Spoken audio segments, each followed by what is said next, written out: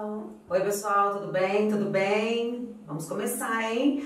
Nosso segundo encontro. Feliz demais por estar aqui com vocês. Bom mesmo. Daqui a pouquinho, né, Ana? Isso aí. Estamos ao vivo na plataforma e no Instagram. Hum, então vamos lá. É oficial. Começou! Olá, pessoal. Boa tarde a todos. Que bom ter vocês aqui. Boa tarde, Ana. Boa tarde, Lili. Prazer te ter aqui de novo. Ah, bom demais. Gente, é o nosso segundo encontro. Lembrando que toda segunda-feira temos esse encontro marcado, 12h30, tá? Você aí que está na plataforma, Facebook, Instagram, beijo, muito obrigada. Vamos continuar falando sobre um assunto extremamente importante. Deu muito resultado a última aula, né? Gente, muita interação. Foi ótimo. A gente quer essa participação hoje. Exatamente. de novo, né? Então vamos lá. Nós vamos continuar falando sobre soft skills, as habilidades do profissional do futuro, mas e hoje nós vamos conversar sobre pensamentos, pensamentos crítico e criativo. Eu vim cheia de ideias, vim com um monte de informação para passar para vocês. E sabe o que eu estava pensando? Quem está conosco aqui agora, neste momento, já está nessa vibe aqui, ó né? Nessa vibe de começar a ter um pensamento crítico, um pensamento criativo, porque está buscando novas possibilidades, buscando novos canais de conhecimento, buscando aprimorar cada vez mais o que sabe. Então, muito obrigada por vocês estarem conosco neste momento e já estão aqui, ó, pensamento crítico e criativo. Quando a gente abre um pouco a nossa cabeça, né? Quando a gente começa a buscar novas possibilidades, significa que nós estamos começando a olhar a vida de uma forma mais crítica e também criativa. E eu quero falar muito sobre esse crítico aqui, tá? Mas antes, convite especial. Então, eu, Lili, né, jornalista, trabalhei em televisão há muitos anos, hoje sou consultora, mentora, tenho dois cursos aqui na Voito. Um acabou de sair, gente. Ai. Ficou pronto essa semana. Lindo curso. O que, que é, Lili? É, vendas, vendas e excelência no atendimento. Gente, tomar uma aguinha aqui rapidinho, só um pouquinho, rapidinho. Caneca nova, depois tem Caneca surpresa, nova. né? No Tem? final, vou contar Hum. como que vocês podem conseguir uma caneca da Vuito. Já já. Então nós temos dois cursos, tá? Nós temos um curso de oratória que eu fiz, que já tá aí maravilhoso, e agora fresquinho, saiu essa semana, tá? Vendas Excelência no Atendimento, um curso maravilhoso para você adquirir, adquirir para sua equipe. Tá dinâmico, divertido. Eu e a Maria rimos muito fazendo, né, Maria? Com técnicas bacanas, uma linguagem bem legal. Então, um convite especial para vocês conhecerem esses dois cursos de oratória e esse fresquinho, fresquinho que eu acabei de fazer. Vendas e também excelência no atendimento. Vamos lá, convite especial para você. Nós estamos ao vivo, ó, na plataforma do grupo, tá? Nós estamos ao vivo no Instagram, nós estamos ao vivo no Facebook. Então acompanhe a gente, mande mensagem aí para os seus amigos, para o pessoal que você também quer que tenha acesso, né? Esse conhecimento que a gente vai trocar hoje. Mais do que isso, interatividade para a gente é tudo. E a sua opinião é muito importante e a sua participação também. Por isso, nosso convite especial, a Ana está aqui para responder, para filtrar, para pegar informação. Então, pode mandar pergunta, pode man- mandar sugestões. Caso eh, em algum momento a gente perceba que precisa se aprofundar mais naquela resposta para você, a gente vai dar na próxima aula. Então, pode participar. Participe com a gente. Deixe seu comentário, deixe também sugestões para o próximo encontro. Fale sobre a gente aqui. Olha, Lili, fala mais devagar, fala mais rápido articula melhor, enfim, participa com a gente, né? São vocês que vão fazer a gente fazer o trabalho Ó. cada vez melhor. A gente já tem fãs aqui na plataforma. Já? Não é meio suspeito, Thiago. assim, essa Lili é fantástica. Quero uma caneca. Não vale, Thiago. Você já tem a sua. Vamos dar essa caneca aí para outras pessoas. E o Ícaro já tá aqui sempre com a gente, sempre todas as transmissões. Então, bem-vindos a todo mundo. Já tô aqui na plataforma. Qualquer coisa é só enviar. Fiquei muito feliz da, na aula passada, depois que nós saímos é, do ao vivo, é, meu Instagram, muitas pessoas foram lá mandar abraço, agradecer o pessoal que assistiu. Estou à disposição, gente. É só entrar lá no Instagram também, bater papo, conversar com o pessoal da Voito. Mas ó, chega de falação, bora? Vamos começar? Vamos conversar sobre o que é pensamento crítico, gente. É muito importante que eu diga para vocês o que que é ser crítico, tá? Nós vamos conversar sobre isso. Ser crítico não é aquela pessoa chata. O pensamento crítico não tem nada a ver com criticismo. O que é o criticismo? Tá feio, tá ruim, tá chato, tá ruim, tá feio, tá horroroso. Ai, não sei. Não tem nada a ver com isso. Nós estamos trabalhando agora com outro tipo de pessoa. Tá? E aí a gente quer mostrar para vocês isso. E o mais importante de tudo isso é que nós sempre trazemos para vocês, para o pessoal de casa, os nossos cursos, enfim, é, coisas bem atuais e que o mercado está pedindo. Por isso que nós trouxemos aqui, ó, reportagens, notícias, tá? Que mostram o quanto é importante ter o pensamento crítico. Essa aqui é uma, uma reportagem do Globo e outra. Diz que os gestores não estão conseguindo descrever quais são essas habilidades como descrever, como fazer para encontrar. Então, que legal, nós estamos num momento bacana em que nós estamos aprendendo, os gestores estão aprendendo e você está aprendendo. Você já sai na frente. Na hora que o gestor fala, quero que você tenha pensamento crítico, opa, eu já sei mais ou menos o que é, ou já tive uma passada e vou me aprofundar. Mais notícia para vocês, ó. Esse pode ser o verdadeiro talento do século 21. Essa professora aqui, é, nessa reportagem, depois vocês vão ver, quem está na plataforma depois tem acesso, né? É, depois vocês vão ver que bacana ela mostrando que é possível você desenvolver o pensamento crítico. É possível. Na última aula nós conversamos que é possível sim, desde que você queira. Né? Essas habilidades você pode adquirir desde que você queira. Não são habilidades que eu saio do ensino médio e já vou para a universidade, que são coisas que a gente faz no normal, no automático. Mais notícia, olha esse dado aqui. O pensamento crítico, gente, envolve resolução de problemas. Nesta pesquisa, com 5 mil pessoas, se eu não me engano, Japão, de outros países, né, Bárbara? São vários países. É, resolução de problemas, as maiores habilidades empresariais. E a resolução de problema está no pensamento crítico. Então, o que a gente traz para vocês aqui, o que a gente quer discutir, são coisas que estão ó, bombando aí no mercado. Muitas vezes as pessoas não estão conseguindo dar nome a isso que está acontecendo e a gente traz para vocês. É este o nome. E essa é uma habilidade que vai fazer você se destacar. Lili, eu já tenho. Eu já tenho essa habilidade. Descobre aqui conosco, aprimore cada vez mais e se destaque no mercado de trabalho, que eu acho que isso é o mais importante. Vou contar minhas experiências aqui ao longo dessa história do pensamento crítico, que é bem importante. É uma das coisas que eu ensino no meu curso de oratória, tá, gente? Que é o storytelling. Contar história, história é a melhor forma de passar informação adiante. Vamos lá.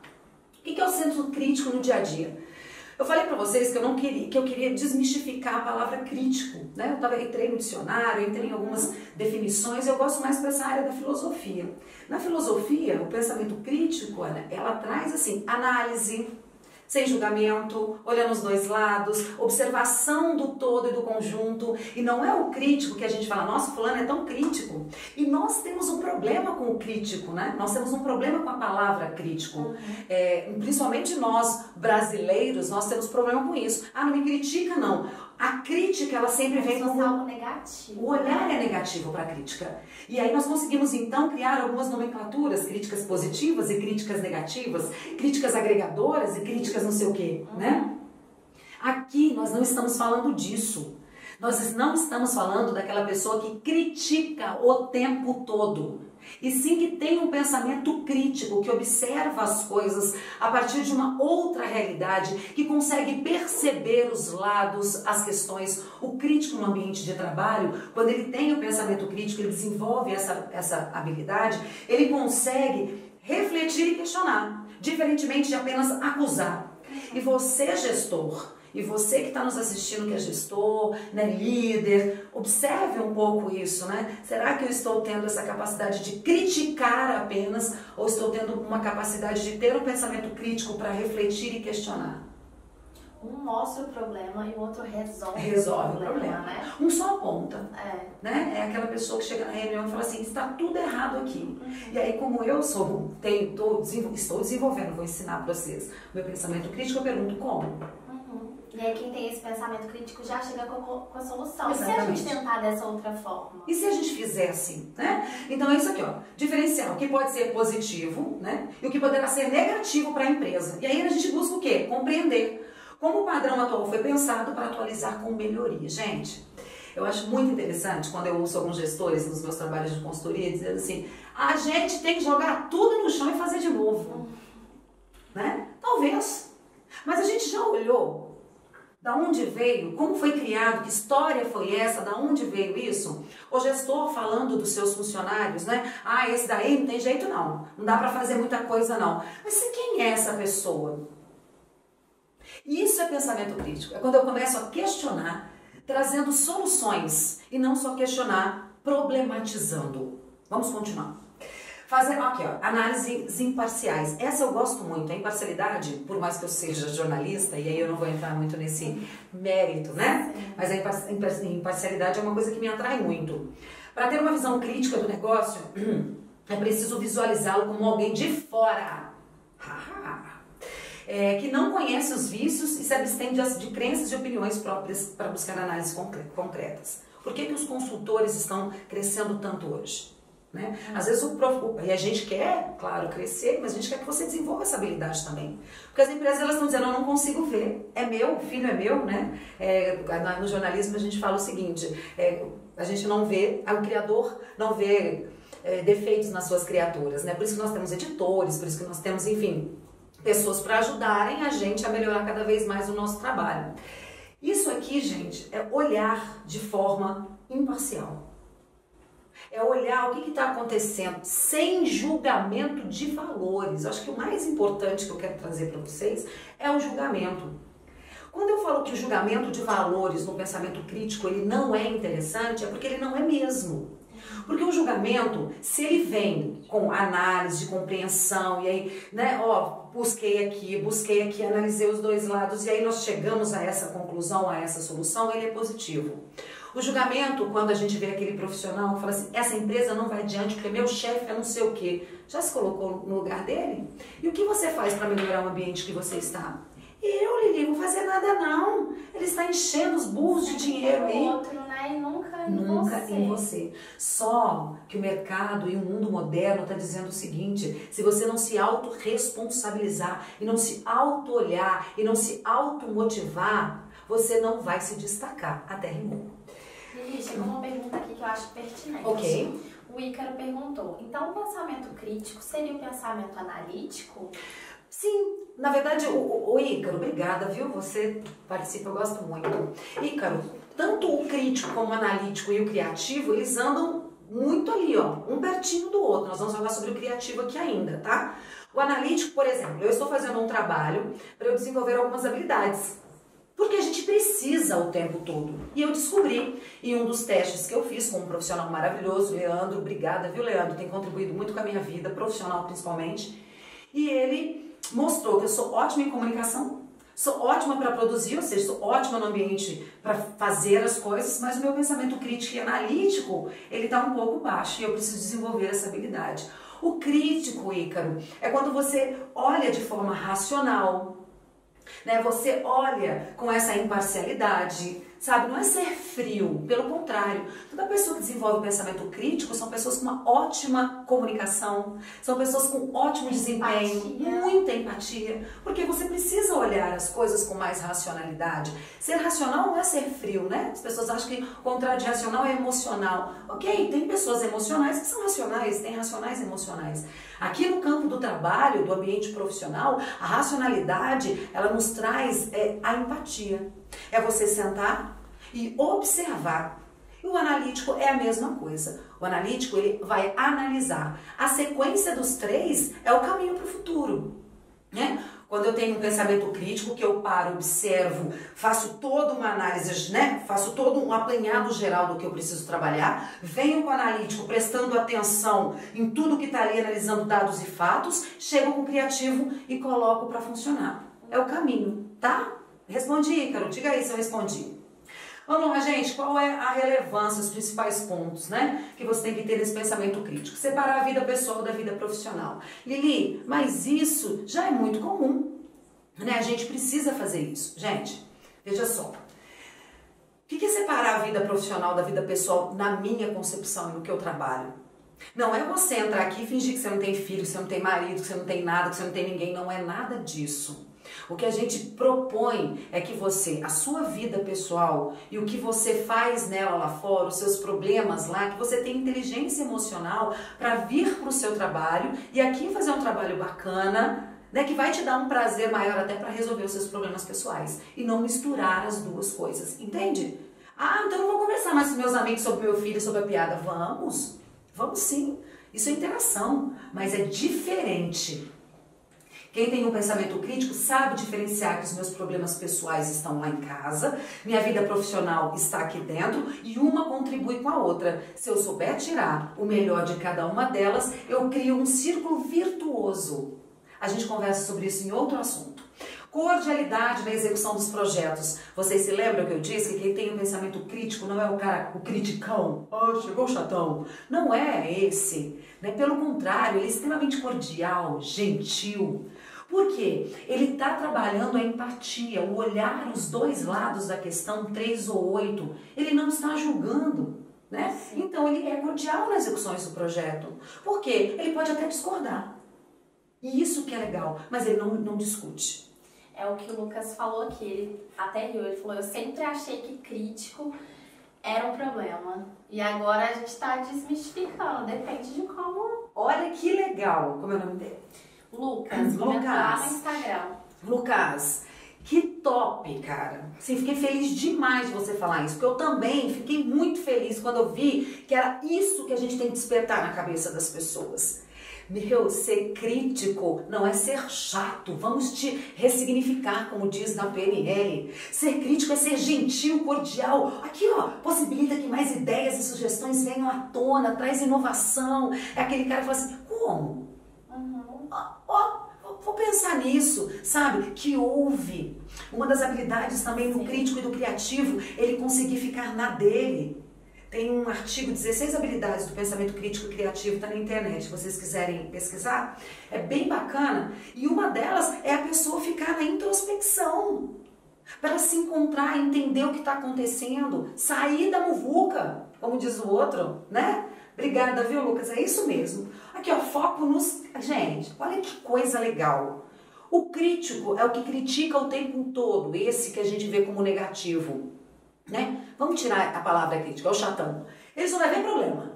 Isso aqui tá feio, isso aqui tá ruim, quebra isso, tira aquilo. Não, não, não. Que era o profissional, ou era o gestor, ou era o chefe, não dessa época, mas de uma época que a gente só via o produto e o dinheiro e o negócio. Hoje nós estamos na era em que a gente vê a pessoa, o conceito, Sim. as vantagens, benefício. O que, que eu proporciono de benefício? Como que eu me relaciono com você? Na época, esse criticão ele era tá errado, faz de novo. Como? Se vira, aprenda, né? Aí a gente veio com essa, essa crença dos nossos pais, né? Ah, deixa, joga na piscina que aprende a nadar, né? Minha mãe fala, quando a água dá no meio da cintura, todo mundo aprende a nadar. Era uma concepção muito antiga, né? Hoje nós estamos assim. O, o, o, bom gestor crítico, que desenvolve o pensamento crítico, é aquele que consegue dar as ferramentas também para os seus profissionais. Então ele vê o objetivo e não o problema tem até uma pergunta aqui interessante do Pablo no Instagram. Então, ah. como superar essas barreiras? Como superar isso da gente conseguir ter esse pensamento crítico? Ah, chegou a hora. Vai ser agora que a gente vai melhorar, tá? Mostrar como melhorar essas competências. Primeiro, quando você já começa a fazer esse questionamento, participar de uma aula como essa, quando você já começa a falar como eu posso fazer, você já está ativando o seu pensamento crítico. Eu te garanto. Quando eu sento em algum canto, coloco um caderno sobre a mesa e digo como eu posso melhorar o meu desempenho profissional e eu listo três ou quatro possibilidades e uma delas eu consigo seguir, eu já estou fazendo e aprimorando essa habilidade do meu pensamento crítico. Porque eu começo a me perguntar, gente, não é aquela crítica em que eu me puf. Não é essa. É aquela que eu digo, como eu posso fazer para melhorar? Como eu vou buscar? Onde está? Isso é pensamento crítico. E as competências, como é que você consegue fazer? É isso. Por isso que eu disse que quem já está aqui já está desenvolvendo. Seja curioso. Pergunte, né? instigue, não se satisfaça com soluções fáceis. Busque compreender melhor as coisas. Explore o que já tem. Então ele conversou sobre pensamento crítico, pois agora eu vou comprar um livro, pois agora eu vou ler mais na internet, pois agora eu vou ouvir alguns áudios, pois agora eu vou ligar lá na Voito, ver se tem algum curso que vai desenvolver né, o meu pensamento crítico. Exatamente. Eu vou ser curioso, gente, mais uma vez. O curioso no nosso trabalho, que não é o chato Anildo, né? Esse curioso é aquele que. Não é o que quer saber da sua vida pessoal, Não, não. a gente tirou ela de dentro daqui, do trabalho, não é? É aquele curioso que quer saber mais, que não fica satisfeito. Às vezes tem um problema. Mas por que, que acontece esse problema? Exatamente. Como que a gente pode tentar resolver? Esse é o curioso. Não é o chato. Uhum. Assim como. Gente, discuta. Ó, outro termo vamos desmistificar aqui, hein, amigos? Discutir não significa discordar. Entende isso? A gente acredita que quando a gente recebe uma análise crítica acerca do nosso, eh, nosso trabalho, ela tanto pode ser positiva como negativa. Percebeu? Que a análise crítica do nosso trabalho pode ser positiva ou negativa, mas isso não quer dizer dizer que a gente tem que ficar lá, ou, ou, é, a pessoa não concorde com o nosso trabalho. Discutir é trocar informações, trocar ideias, conhecimento, argumentações, conversas produtivas que vão agregar aí no seu dia a dia. Isso aqui, olha, você consegue tornar o seu pensamento mais crítico, discutir, conversar com as pessoas. Gente, não é brigar, não é para ir pro Facebook comentar. Gente, cada um tem sua opinião. E na programação neurolinguística nós dizemos que nós respondemos à realidade a partir das nossas experiências. Então eu trago a minha experiência de vida, você a sua. Quem sabe se a gente não trocar, eu não cresça e você também. A gente aprende um pouquinho. Exatamente. né? O meu convite é que façamos um uh, vamos abrir aqui, ó, tirar o conezinho e abrir, vamos abrir, para que possamos olhar diferente o outro, respeitar o outro e ter a mente aberta. Né? Entender quem é esse outro, compreender o outro lado, sabe? Você tem que ter suas próprias opiniões, mas elas não são as únicas e ela pode ser agregada. Na PNL também a gente fala de mapa. Meu mapa é meu mapa, não é território, ninguém pisa no meu mapa, mas eu posso ampliar o meu mapa. Eu posso ampliar meu mapa conversando, saindo, olhando, observando, discutindo, mudando de lugar. Eu posso fazer, eu posso abrir. Como eu tenho mente aberta, Lili? É só você querer. É só você entender. tirar aquelas barreiras, aqueles preconceitos que você tem quando surge algo novo, né? Exatamente. Exatamente. E observar aqui, ser crítico é isso. Será que eu estou fazendo? Onde que eu posso melhorar? Né? E não viver no pensamento automático. O contrário do pensamento crítico é o automático. Você faz as coisas igual Charlie Chaplin, naquele Acabou. você nem pensa, né? Acabou. Sabe? E se para de fazer, parece que falta alguma coisa. Nossa, perdi meu dia hoje, né? Crie suas próprias opiniões, gente. Pega um fato, pega outro, é o que eu faço. Eu trago aqui vários elementos de várias pessoas, trago para minha realidade, para os estudos que eu tenho e a partir das experiências que eu tive e crio aqui uma opinião acerca deste assunto. Porque eu li, eu busquei, eu juntei um pouco que eu tenho e trouxe. É isso aqui. Crie suas próprias opiniões. Desafie sua mente, estimule seu cérebro, participe de coisas que façam a sua cabeça crescer. Tá? Estimule o seu pensamento. Muito. Mas é muito. Pode ser com palavra cruzada, pode ser, mas pode estimular o seu. Mude de lugar. Tem alguns outros exemplos que as pessoas dão. Escovar os dentes com a mão diferente, fazer um caminho diferenciado, isso já tá aí, né? É, é, ler coisas diferentes. Saia da sua zona de conforto, eu só leio sobre não sei o que. Outra coisa, coloque um filme diferenciado que vai te fazer pensar. É, vamos desafiar a sua mente. Nós usamos apenas 3% do nosso cérebro, meus amigos. Eu estou querendo chegar a usar 3.1. Não chego lá. Olha, Lili, eu vou ler só um comentário muito legal do Rafael lá no Instagram. Falou, a Lili é 100. A maior dificuldade que tenho hoje é de separar o pessoal do profissional, principalmente porque meu trabalho é com a minha família. Sucesso, Lili. Rafa, obrigada. Você também é mil, tá? Obrigada mesmo por participar. Obrigada mesmo, mesmo. Olha só. Eu entendo você perfeitamente. E aí que é muito legal essa sua pergunta quando você aliar ao pensamento crítico e ao pensamento criativo, para você despertar isso em você, Rafa. Olha só, quando eu trabalho com a minha família, lá é minha empresa familiar, mas ela não deve ser a minha empresa com a minha família. Dá para perceber a diferença? Consegue perceber, Rafa? A empresa é familiar, mas ali não é com a minha família. E se minha mãe ou meu pai são os meus gestores, eu tenho que adquirir essas habilidades críticas, uma melhor forma de comunicação e empatia, para que eu também tenha postura e posicionamento suficientes para que eu possa conversar com eles como profissional. Eu sei que é difícil separar isso. É igual você que trabalha com esposa, né? Você que trabalha com marido. Eu sei que é difícil, mas quando você trabalha o seu pensamento crítico e você trabalha o seu pensamento criativo, você consegue tirar isso na PNL, a gente fala associar e dissociar. Saia da ação, observe-os como muita empatia, claro, e amor, que isso a gente não consegue tirar, porque são os nossos pais, né? Então, com muito amor e muita empatia. E você já tem uma característica que vai te ajudar muito nessa diferenciação. Porque o amor, aliado à empatia, é uma explosão de coisa boa.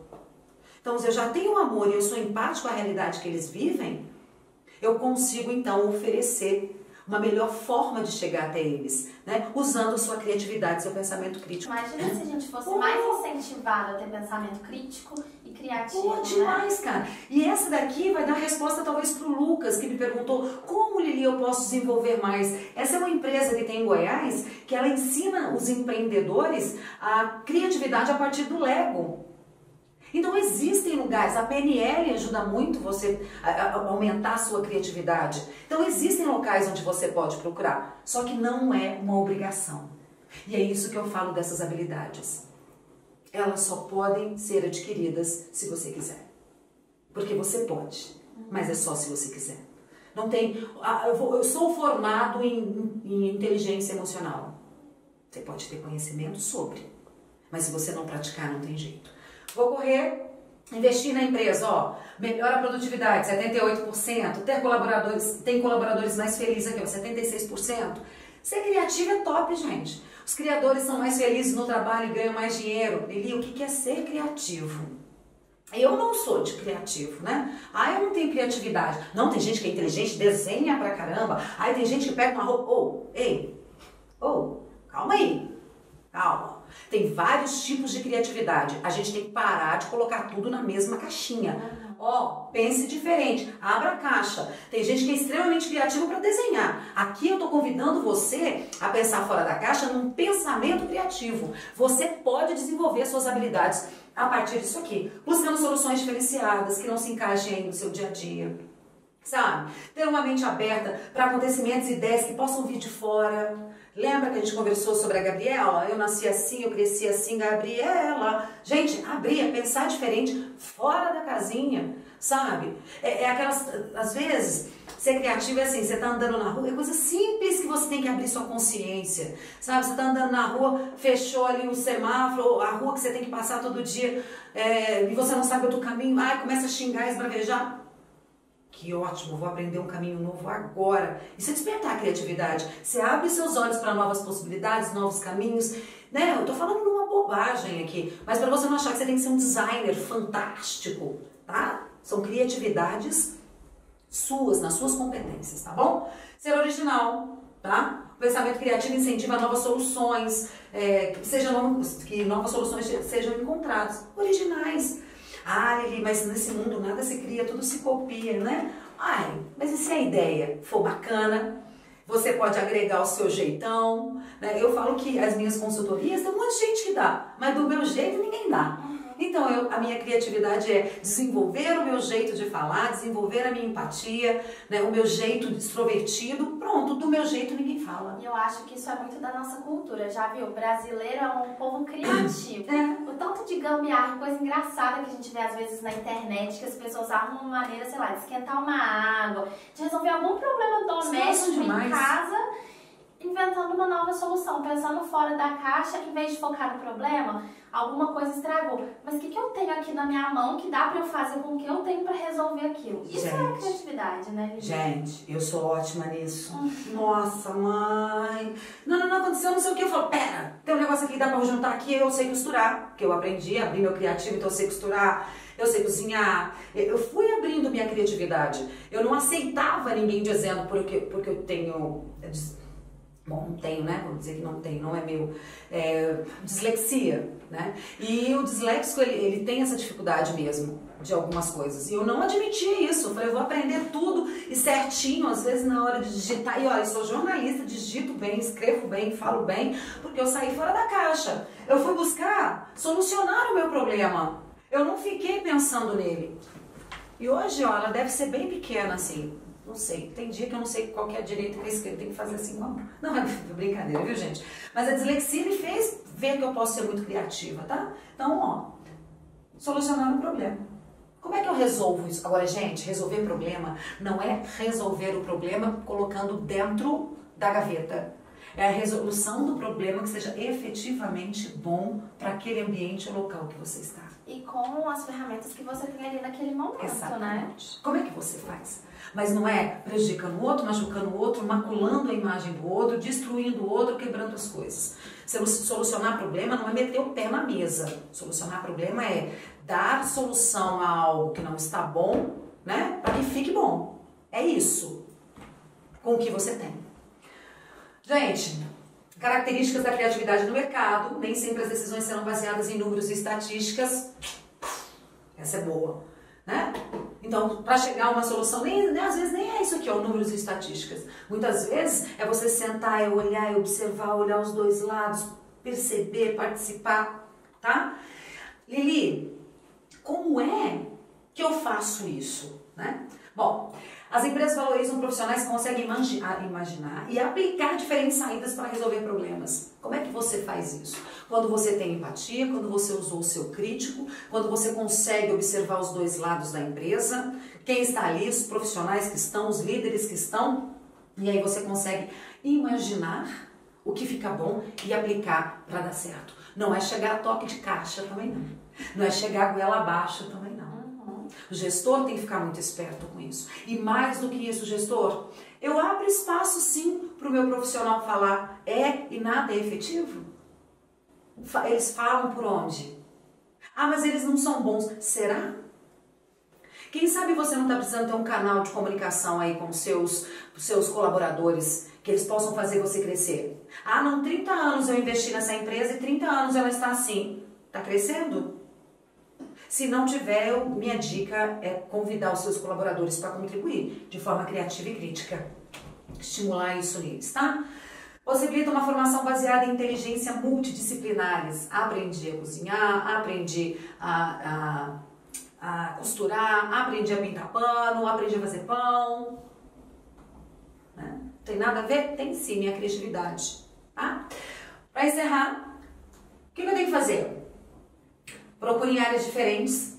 Vai para outras áreas. Procure ideias, troque ideias com pessoas diferentes. E aquilo ali vai trazendo para você novas ideias e abre a cabeça para o despertar, meus amigos. Tá?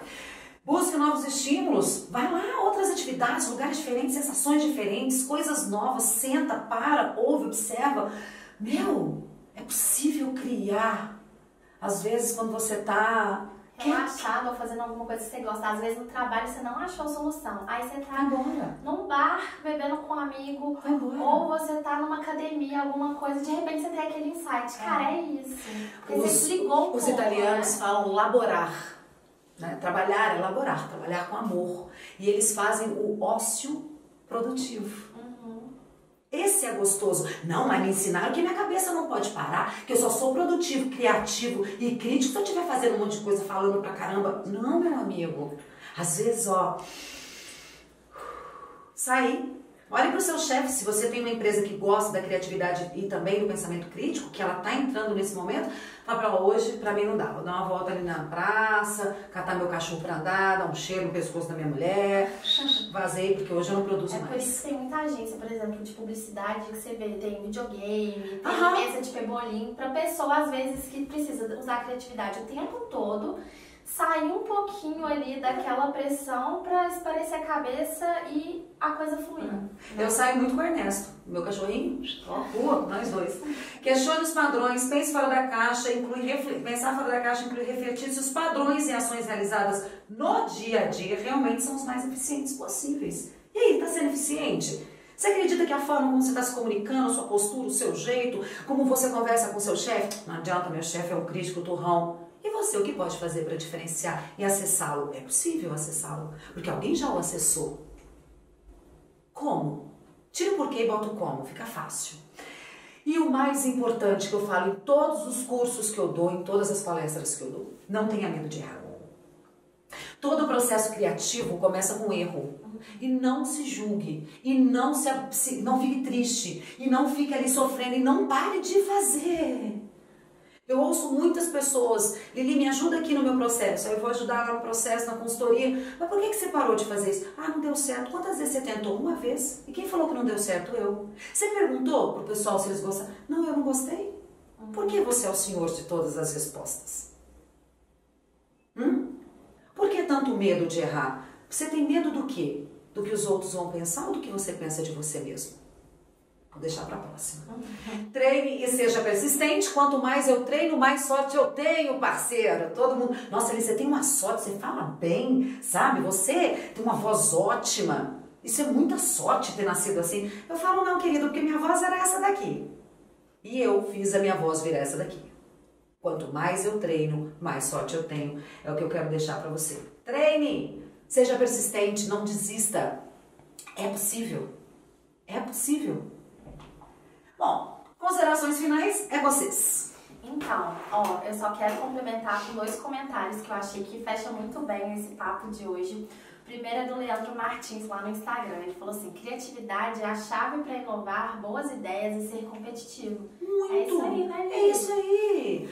É isso. Ser criativo. Gente, e aí não é inventar. Né? Claro que tem gente que já ó, subiu a criatividade, que olha pro negócio e fala: hum, isso aqui Vou criar um negócio que daqui 10 anos será a coisa mais rica do planeta. Não estou dizendo nessa capacidade que nós vamos chegar lá quando a gente começa a desenvolver. Eu estou falando dessa criatividade que você pode fazer todos os dias um pouquinho, uma gotinha de criatividade por dia, mudando pequenas coisas no que você faz, né? Propondo coisas diferentes. Eu, eu, não acredito em nada que venha com radicalismo. Vai, agora, agora eu sou criativa, agora eu tô ó, pintando quadro, agora eu sou um novo Monet. Lili falou que tem que ser criativo, comprar uma tela e fica olhando para aquela tela e faz um rabisco. Eu criei. Foi útil? Foi, né? Lili falou que agora tem que cozinhar, agora eu vou pra cozinha. Aí pega aquele livro de receita de uma comida cara pra caramba, estraga aquele monte de ingrediente. Foi útil? Porque veja, ser criativo também e não ter a utilidade da, né, para sua criatividade vai te deixar muito triste também. Né? Eu acho que aí fica a dica do livro que a gente Ai. tem aqui para você, porque eu acho que isso, como que uma pessoa se torna mais criativa? Incentivando e aplicando hábitos melhores ali no dia a dia, fazer coisas diferentes, igual ele falou, ir por um caminho que você nunca fez, Isso. fazer uma atividade que você nunca fez, fazer coisas que você tem prazer em fazer. Então fica a dica aí. E todos esses livros, agora a gente tem um projeto dos pocketbooks, que você consegue ver resumos de vários livros e agora também em áudio e vídeo a gente está gravando um projeto bem legal. E antes da gente falar as próximas transmissões da semana, Lili, pega ah, essa caneca. Gente, gente, toda live as pessoas ficam assim. Eu quero uma caneca da Voita, eu quero uma caneca da Voita. Então a gente te ouviu. Essa é minha. E a gente vai fazer uma ação para você concorrer e ter a sua caneca da Voito. Então eu tô deixando aqui no link de todas as redes sociais de quem está acompanhando a gente, a página, para você descobrir como ter essa caneca da Voito. Para você também incentivar, a Lili tá sendo a garota propaganda, para te incentivar a ter esses pensamentos legais aí no seu dia a dia. Então entra para ver, vai, vai valer a pena. Eu já tenho uma, já tenho a minha, já ganhei. Lembrando do curso de vendas, ah, excelência no atendimento, já está na página. Vou deixar Clica lá, aqui coloca. Gente, tá linda a capinha, assim, tô com um terninho, tô super top. Visual novo. Visual novo, cabelinho cortado. É. E vocês não vão se arrepender, ficou muito gostoso. E algumas dicas que eu dei aqui, que eu converso com vocês, tem lá também. Então, já é ao momento para você instigar o seu pensamento criativo, observando as dicas que eu te dou lá. Olha só, soft skills, a comunicação hoje é dentro do soft skills uma das maiores habilidades. Porque para você ter um pensamento crítico, um pensamento criativo, um pensamento analítico, você precisa desenvolver sua boa forma de comunicação. E a boa comunicação não tem nada a ver com a sua voz apenas, não tem nada a ver com o timbre apenas. tá? Vocês têm que começar a entender o que, que é efetivamente comunicação. Então, segunda-feira, eu trago o conceito da comunicação, a comunicação eficiente e dicas para que você possa introduzir a comunicação no seu pensamento crítico, no seu pensamento criativo, enfim, em todas as habilidades porque ela é a mola, ela é a linha condutora de, toda o, de todo o processo. Não adianta né? ser criativo se você não consegue vender essa sua ideia, Pois é. é um problema. né? Exatamente. E aí é por isso que você tem que estar aqui segunda-feira que vem. Eu estarei aqui com vocês. Muito obrigada. Acompanhe todas as transmissões aí de forma ilimitada na plataforma Sim. Premium. Isso, porque essas transmissões são gratuitas para quem está assistindo a gente ao vivo, mas quem quiser ter todas essas transmissões que a gente tem aqui na Avoito, a gente convida para ser um aluno premium, porque você tem vários conteúdos extras como esse que vão te ajudar a ser um profissional melhor. Gente, eu passei um pouquinho do horário hoje porque o assunto são dois assuntos, né? Dois temas rendeu. foi Acho que foi legal. né? Mas mande pra gente, eu quero saber se vocês acham que ficou muito longo, se eu estou falando rápido demais, se vocês preferem que eu traga um tema, um tema e meio e continue no outro. Fala com a gente aqui, porque aí vocês, né, porque vocês podem me ajudar a fazer um trabalho melhor. E se eu não estou articulando direito também, eu gosto muito da participação. Muito obrigada a todos, ó, muito mesmo, uma semana iluminada para todos vocês e eu acredito sempre, sempre, sempre. Se você acredita que pode, você tá certo.